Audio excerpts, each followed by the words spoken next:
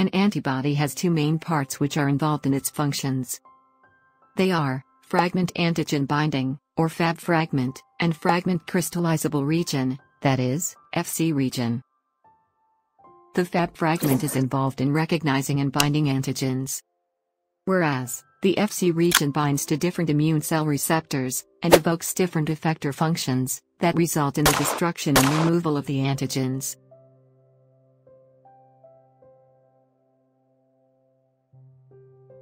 The first function is opsonization. Antibody opsonization is a process in which an antibody binds to a pathogen, thereby marking it for phagocytosis. Hey phagocyte. Here is a pathogen recognized. Please destroy him. Sure.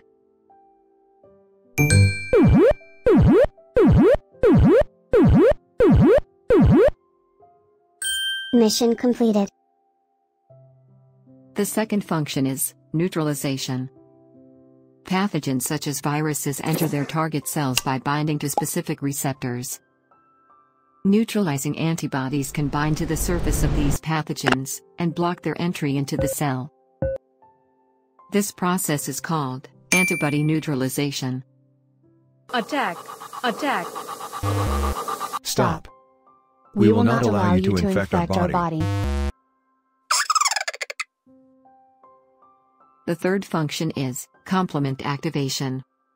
The complement system contains a collection of plasma proteins that work together to fight infection.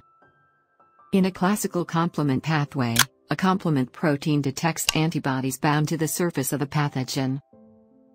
This activity further activates other complement proteins, resulting in the formation of the membrane attack complex, a cylindrical structure that is inserted into the cell wall of the pathogen, thus puncturing its membrane.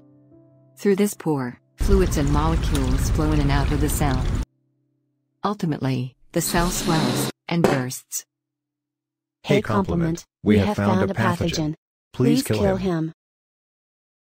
Okay, I will activate the complement pathway. Hey guys, antibodies have detected a pathogen. Let us kill him. Command received.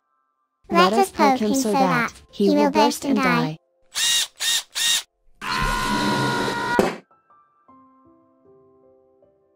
The fourth function is immune complex formation.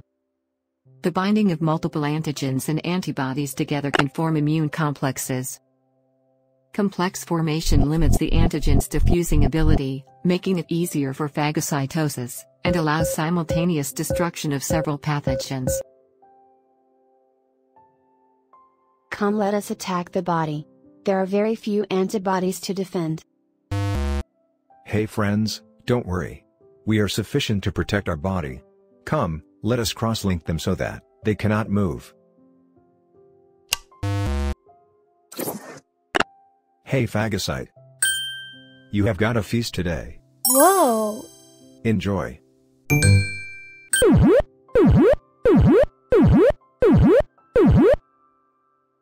That was yummy.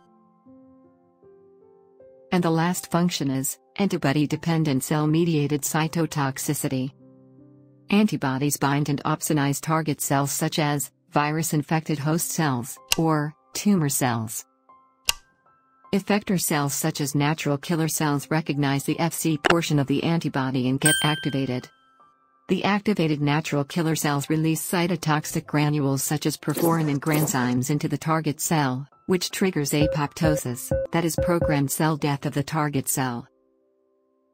Hey natural killer cell. I have detected a virus-infected cell. And I have detected a tumor cell. Please deal, with, these, target, cells. Don't worry. I will destroy these target cells so that they will not affect the neighboring healthy cells.